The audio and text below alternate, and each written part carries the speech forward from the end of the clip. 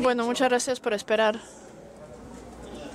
uh, hasta que resolvemos este problema y muchas gracias por la invitación nuevamente a los organizadores por dar estos keynotes. Estoy contento de estar aquí. Como dijo Jorge antes, la sesión de apertura ha sido, han sido años muy duros durante la, uh, el tema de la pandemia.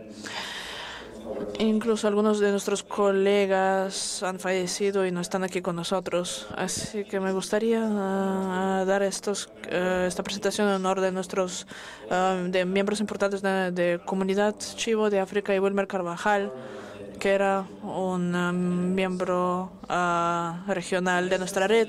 Y hay algún, una cosa que Wilmer me enseñó, mi amigo, en mi visita a Perú, es que es que el mejor pisco sour no es en Chile, es en realidad en Perú. Probablemente algunos de ustedes ya lo han probado anoche. Pero por, favor, cuídense. Después de los cuatro o cinco uh, van a estar en problemas. Así que para mantener su atención, creo que uh, ya estamos cerca de la hora del almuerzo. He organizado mi charla como un viaje uh, a través de los diferentes cócteles. Probablemente no va a encontrar algunos de estos en bares peruanos, pero les puedo dar las recetas después, si quieren. Vamos a hablar sobre la, natural uh, analogs, natural laboratory, local adaptive, and the last one, which is I call everything is changing, even the analogs. So first, I mean, so basic definitions about what are actually natural analogs. Uh, natural analogs can be defined as those regions which in the past or even in the present already experience those climate conditions expected for the future. So it's a concept that was initially introduced by people dealing with uh, climatic issues. And for some of us that we are conducting experiments at the laboratory, in, in some cases it's very difficult to try to mimic all the conditions in the field.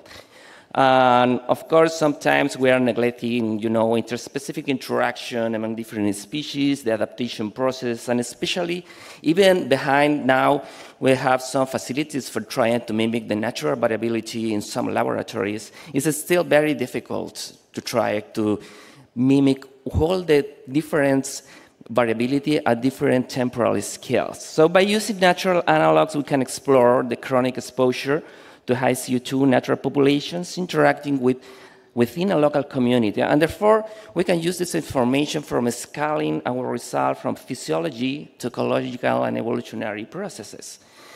So if we go back to the definition of natural analogs, something that is, is, is really difficult is try to explore how uh, conditions are uh, expected in the future, especially with coastal in coastal habitats like subtidal environments, intertidal areas.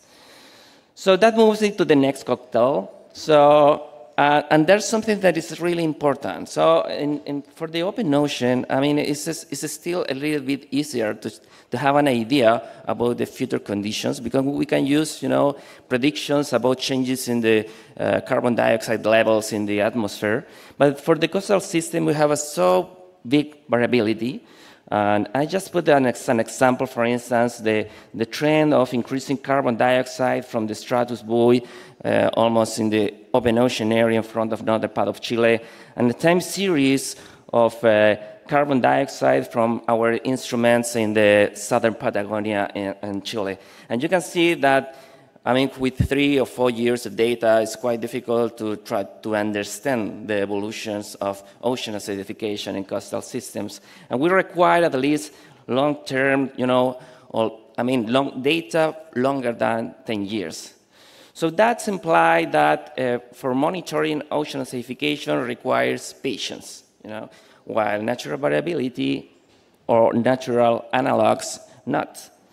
So uh, in, in, this sense, oceanification is a very important topic, but in occasions, in order to communicate to stakeholders, it's extremely important to keep in mind that this is a process that is occurring in a long time scale. So probably you generally will need data for 10 or 20 years in order to have some information about the trending of the changes. And of course, by using, you know, honest techniques, probably for 60 years, you are going to be to, to catch some trends and changes of, uh, of pH uh, for, I don't know, 50 or 60 years. But by using, you know, high technology or sensor for a couple of months or even a years, it's, it's going to be very difficult to, to try to have an idea about how changing conditions are, are occurring.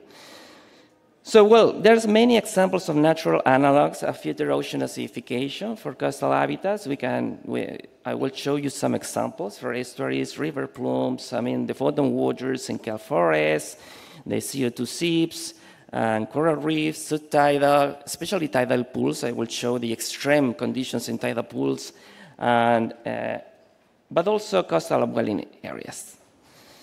So I really enjoyed this paper published by Lydia Kapsenberg and, and Cyronak because uh, it, it, put in context you know, to almost permanent exposition depending on the drivers, like metabolism between day and night, the events of upwelling that can occur on a time scale of a couple of days or even a week, or intense flux of low alkalinity riverine waters in the coastal area. And then you have the long train of decades of data to, for exploring the ocean acidification. So, but the next question is, are these low pH, high conditions common in the coast? And I will try to convince you that you probably have a low pH environment or natural analogs probably very close to, to your house. And the best example is tidal pools. I mean, tidal pools are everywhere, and especially intertidal areas, and they experience huge variations in, in carbon dioxide between day and night. Basically, because the impact of the local community. And a couple of years ago, my student Fernando was curious about changes of uh, carbon dioxide in this tidal pool. He was almost sleeping on a tent on the rocky shore for a couple of days, collecting samples at night and day. But it was very interesting. I mean, you can see, I mean, during the day, it's under saturated condition of 200, 300 microatmosphere, but at night, it can increase that more than 2,000 in a tidal pool. And even if you move to the adjacent rocky shore channels, even carbon dioxide is quite high. I mean, it's, it's almost 800 microatmosphere. Today, with advance of technology and using loggers and sensors for monitoring pH, you, we can understand, I mean, how natural fluctuations are occurring in this kind of environments. And I really like this paper by Kennedy Wolfe because it's uh, evidencing the changes of pH especially in the mid-intertidal sites with pH levels that can reach values around 7.5, 7.4. And the difference between this tidal environment is basically driven by the community structure. I mean, just for instance, calcifiers versus algae. And depending on the community structure is going to depend the local metabolism that is uh, generating these kind of fluctuations. Kelp forest is also a good example of ocean acidification analogs, especially in, in deeper waters. So for many years, kelp forests have been considered as an ocean acidification refugee. But in this paper by Heidi Hirsh and JGR recently published, it's very nice because they put different sensors from surface to the bottom, oxygen, pH, and then you can see that, of course, in the canopy area, you can find under saturated conditions of very low carbon dioxide. And, but if you move to the basal disk, in the deep environment, you can see that the carbon dioxide is very high. And even you can find under saturated conditions in omega. So probably it's a refuge for a fish living in the canopy. But the world is completely different for a crab or for a sea urchin in the, in the, in the basal disk. So, but also give information about that is not the same if you are collecting a, a, a seawater for characterizing carbon chemistry at the surface than in the bottom. But even in this kind of environment, you have the influence of regional processes, like the upwelling. So even in the kelp forest, you can have, for instance, during a couple of days, the impact of the upwelling within the kelp forest. In some cases, the daily cycle can be lost due to the effect of the permanent exposition to low pH waters. So that is very interesting considering, for instance, for experiments. So coastal upwelling areas have a, a big signature in, at, at, the, at, the, regional level. There are many coastal upwelling uh, regions experience low pH and high CO2 conditions. In some areas at seasonal scales, but at other latitudes you can have almost permanent exposition. There are very, a lot of examples of a study trying to characterize the carbon chemistry in upwellings. I just put some examples, for instance, from a paper from CAI in Nature Communications, and my, my colleague, uh, Martin Hernandez Ayón, recently published this paper in Frontiers, where you can see that in, in the coastal waters in front of um, Miraflores, probably, you have very high CO2 and low pH waters. Um, but if we, if we, move, if we move to the south in the southern hemisphere or to the north in the, in the northern hemisphere, and then we, we have the influence of the river runoff, even in coastal upwelling areas. So you have river influence coastal upwelling areas, and they are a kind of natural laboratory for experiment because you have all the different combination of drivers. For instance, during the spring summer, you have the influence of the river and the upwelling, and then in winter, only the river, and then if you move to the summer, probably only you have the upwelling effect as a main driver. I just want to show you some examples from different areas quite far away each other. Like, for instance, the South China Sea. In this paper by Dong, uh, he demonstrates, for instance, the effect of upwelling in low pH waters and creating conditions of low omega aragonite. But at the same time, in the surface, you have the influence of low alkalinity waters that generate conditions also of low pH conditions.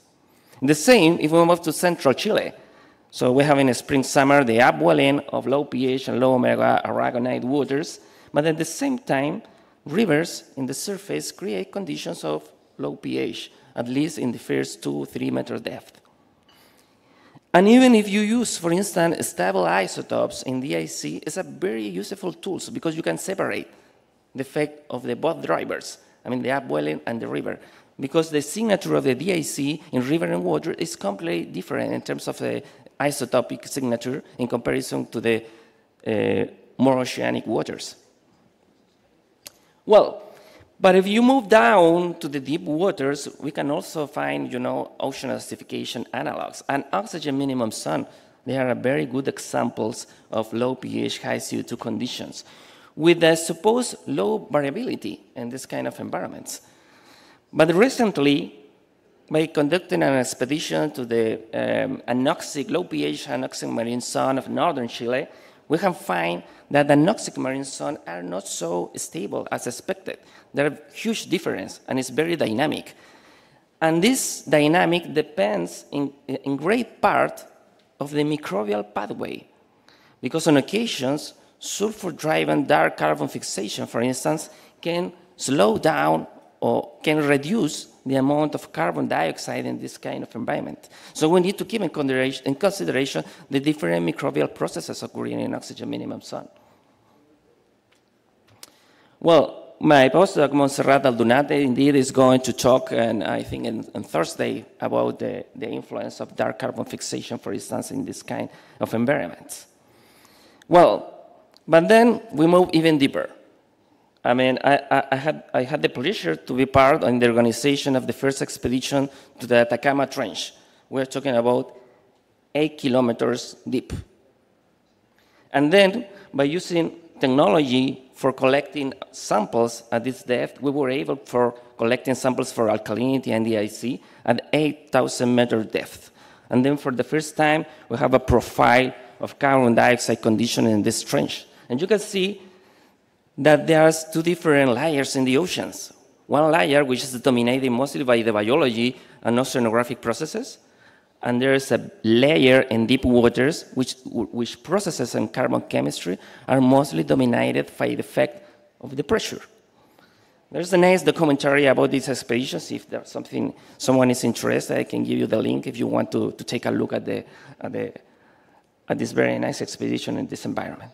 Well, well, in LAOCA region, in Latin America, we have different kind of ocean acidification analogs um, with the support of OICC, another sponsor. We had the possibility in 2018 to organize uh, an ocean acidification school in Galapagos, and by using, you know, natural analogs for the understanding the impact of ocean acidification. In this case, a CO2 seeps in Roca Redonda, which is a, a kind of a small algae sorry, a small island in the northern part of, the, of, of Galapagos. So But then, through the collaboration with colleagues from Central America, for instance, we are also trying to understand the carbon chemistry in mangroves.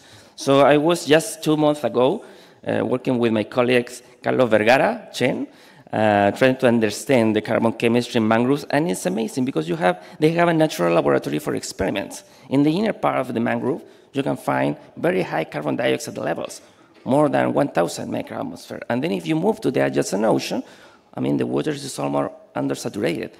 But in all this range of variation, you have the same species, Anadara. I don't know, well, Anadara is a, is a, is a, is a bivalve, it's a clam, which is distributed from, from Peru, to Tumbes, uh, to, to almost Mexico.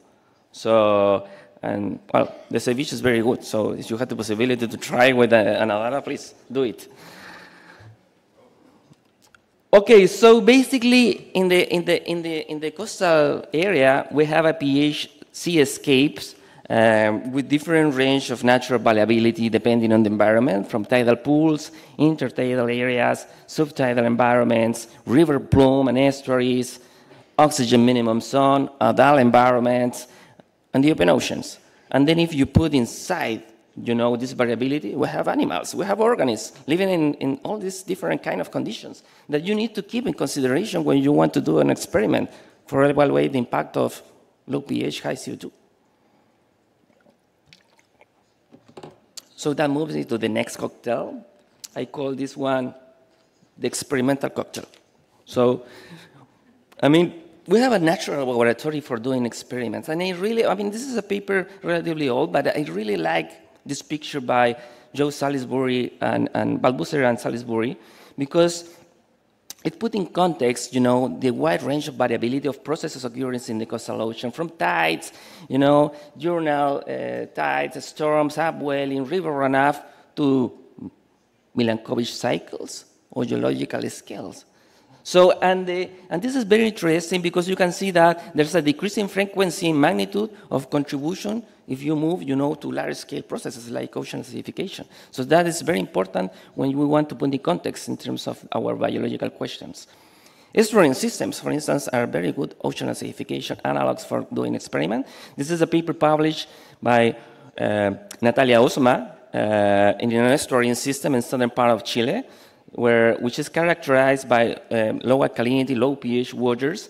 And, and in this experiment, she collected you know, a natural phytoplankton assemblage for conducting experiments of exposition to two different levels of CO2 at around 400 and 800 microatmosphere. And well, even at community level, natural phytoplankton assemblage seems to be adapted to this environment. We didn't find any changes in primary productivity, in community structure, in abundance and biomass, because those communities are already exposed to high carbon dioxide. This is a, a, very nice paper that was uh, recently published by, by, by Nina. Uh, probably, I don't know, probably she, she's going to give a talk related, I think, to, to, to the role that have predictability in the response of marine organisms. She was working with two model species, the Pacific and native oysters, and by manipulating the seawater and creating conditions of static pH and dynamic fluctuations, she has found, for instance, that the shell dissolution in these oysters increased with larger amplitude in pH variability and less predictable conditions. So it's a very nice study that evidence that fluctuating habitats with increasing amplitude of variability can pre-expose organisms to lower pH um, values more frequently and for prolonged uh, accumulative durations. So in Chile, we have used, for instance, for experiments, the river influence areas, because typically river plumes experience low pH and carbon dioxide levels. And in this paper, um, published by uh, Luisa Saavedra, for instance, she was collecting mussels from, this, from two different environments, river influence area and non-river influence area and then exposing at the laboratory to three different levels of carbon dioxide for evaluating the ingestion rate and respiration. And you can see that populations coming from low pH river had higher feeding rates with no significant effects of PCO2 on the feeding. So by increasing ingestion, it seemed that they, they are interested to compensate the demand for keeping metabolic costs in this environment because we can see the respiration rate is almost the same for both populations. Later, we do the same experiment by using the environment as a laboratory by conducting transplant experiments. Transplant experiments are very useful in order to explore, for instance, the cost of local adaptation. So in this experiment, we, we do experiment of auto-transplant and transplantation of organisms from river influence area to non-river influence area. And you can see that those mussels in areas affected for, by freshwater runoff have high growth rate and higher calcification rates. And when you move organisms from control areas to river influence areas, they increase also the growth and calcification. So it seems that food supply can play a significant role, but because typically in estuarine areas and river influence areas, you have a very large amount of seston and particles for feeding. Indeed, if you take a look at a MODIS satellite image of phytoplankton, you can see the high productivity, especially in river plume areas like this. So there's uh, good examples that uh, food can, you know, alleviate the impact of low pH conditions. And my colleague Victor Aguilera is going to talk about the effects of food, for instance, in the response of copepod organisms in, in a talk. So you can do the same, I mean, but in terms of the vertical structure, not only comparing, I mean, low pH areas and control areas, but you can see both treatments in the vertical sense. And fjord systems are very good examples. Because in the surface layer, you can find low alkalinity and no omega conditions due to the effects of river runoff. And then in the deep water, you have the effect of the respiration of the organic matter. But you have an optimum omega in a middle layer between two and six meter depth that can be used, for instance, for the shellfish farming industry. And we do experiments one years later for conducting transplant experiments in order to evaluate if really this layer of omega aragonite conditions is the optimum for growth. And we can find that indeed, if you move organisms from the surface to this optimal layer, they grow better and they have a big shells. So this is very useful information because the knowledge of this natural variability can be used as an opportunity for adaptation of shellfish farmers of an ocean acidification impact. So adaptation is a very important role for organisms and between 2009 2014, we were conducted with a group of colleagues different experiments of common garden by collecting animals along a very large environmental gradient from northern part of Chile, central and the southern part in Chile, and exposing to high CO2 conditions in the laboratory. At that time, we didn't have any idea about the carbon dioxide levels in the coast. But a couple of years later, we do the monitoring of conditions along this environmental gradient, and we have found that most of the organisms that we expose in the laboratory to high CO2, they were already living in a low pH environments. So by using this information, what some of my, of my colleagues, we, we did um, a kind of index, you know, that represent, I mean, how far organisms were exposed in the laboratory in comparison with the local habitat. And then you can see that those organisms experience a large variation from the local condition, where those experience the more negative impact. Just recently, and the last year, with, uh, with some colleagues and, and, and Sam Dupont, Juan Diego Gaitán, and others, we try to test this hypothesis, but in a global context, by using information of carbon dioxide in the cost by different voice sensors, data, you know, from data repositories. And then we did a meta-analysis of different experimental studies exposing organisms to high CO2 with information about what, what was the geographic area where they were collected. And they found the same relationships.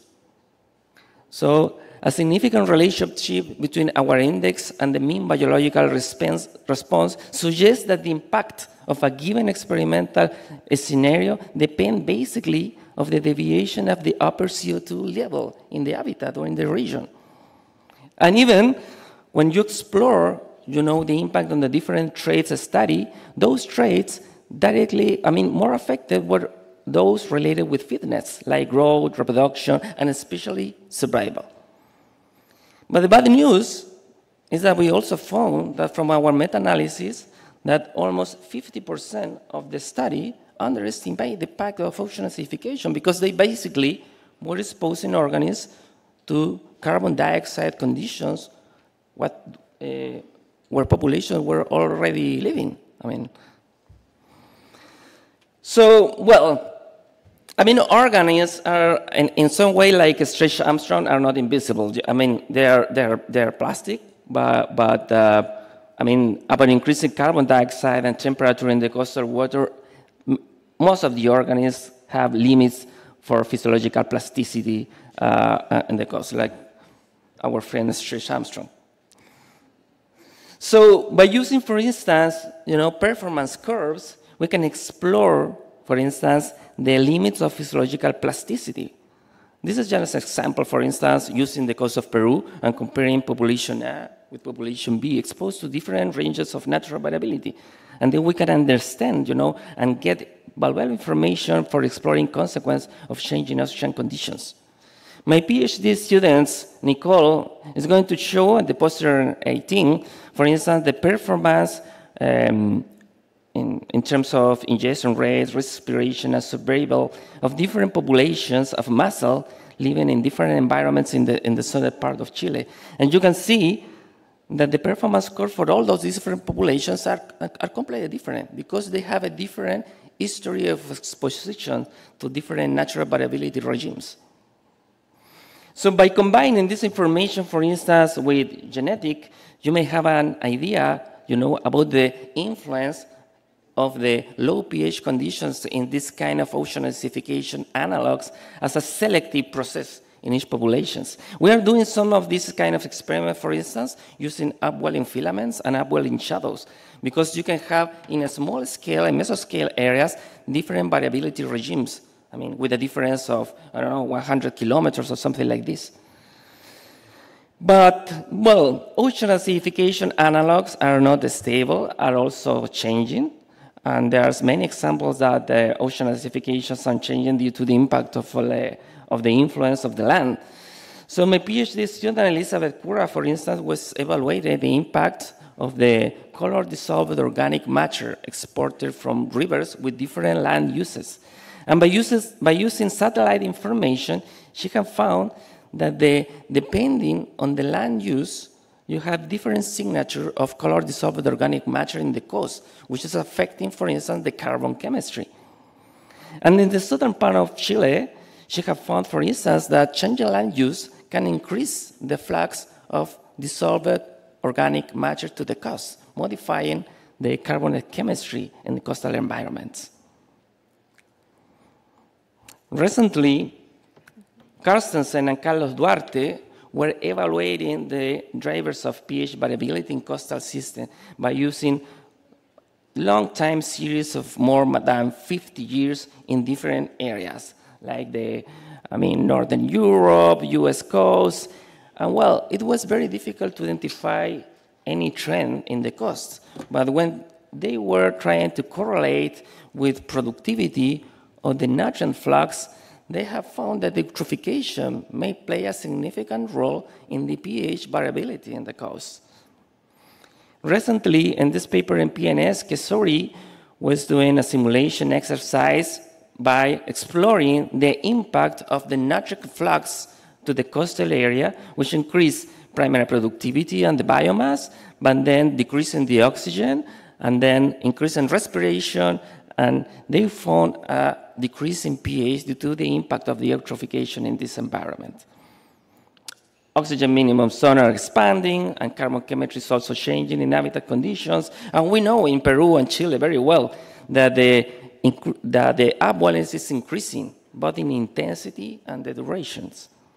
So basically, we have different drivers of changing pH conditions in the coast and ocean acidifications, changes in the upwelling regimes, the impact of changing land uses and the freshwater chemistry, the modifications of the hydrological cycles due to the impact of damming or climate change impacts, but also pollution intensity is very important drivers of changing pH conditions And then we have ocean acidification, which is almost at the same time scale in this picture.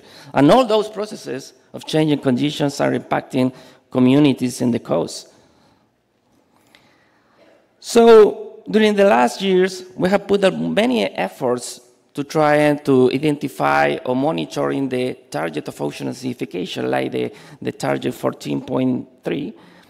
But you have to consider that the, we, we, we, we need also to be worried about other SDG, not only the 14, because, for instance, climate change is important, but you need to keep in consideration the changing land uses, because it's also modifying the pH condition or the hydrological cycles but also keeping healthy rivers. is very important. So to reduce the impact of changing CO2 conditions require multiple actions. And this is very important, for instance, in the context, in the context of ocean alkalinity enhancement, because Rivers have a major influence in the alkalinity in the coastal zone, and regulatory policies for keeping healthy river alkalinity discharging to coastal ocean could be a key component of actions dealing with mitigation of ocean acidification, like this paper recently published that gives an example of how increased river alkalinity can slow down the impact of ocean acidifications in the northern Gulf of Mexico. So with my colleagues Nelson Lagos, we are uh, uh, or, or, we are leading, you know, uh, efforts for a, for a, special number in sustainability, also um, about this kind of issues like adaptations and solutions for coastal sustainability. So keep in mind, I mean, it's the deadline is in February next year. If someone of you are interested, to send your manuscript. So some of my take-home messages are Ocean acidification analogs are globally distributed worldwide, not only in a boundary system, uh, like some people think. Exposition to low pH and high CO2 of marine population and these analogs is habitat dependent. So you have to be considered when you design experiments. The importance of communicate key correct message. Are you conducting experiments of low pH really or ocean acidifications? Well, this is also a very important issue. There's many drivers of changing pH in the coastal domain interact with ocean acidifications, and one of the big challenges is evaluate the contribution from each drivers of changes. So coastal management and OA actions require consider the balance between the negative consequence of eutrophication, pollution, versus those driven by increasing uh, this, uh, atmospheric carbon dioxide and OA in order to maintain biodiversity and ecosystem services of our coastal marine ecosystem. I want to thank you, my, all my students, assistant, postdoc, and especially the Prince Albert II of Monaco Foundation for giving support to participate in this meeting and all my collaborators. Thank you very much.